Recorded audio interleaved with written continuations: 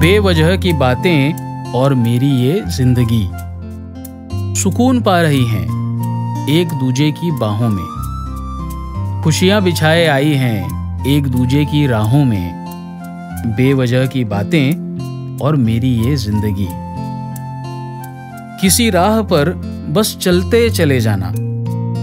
न मंजिल की खोज, न खाबों का बोझ। आँखों में है तो बस चैन की नींद। किसी राह पर बस चलते चले जाना। न मंजिल की खोज, न खाबों का बोझ।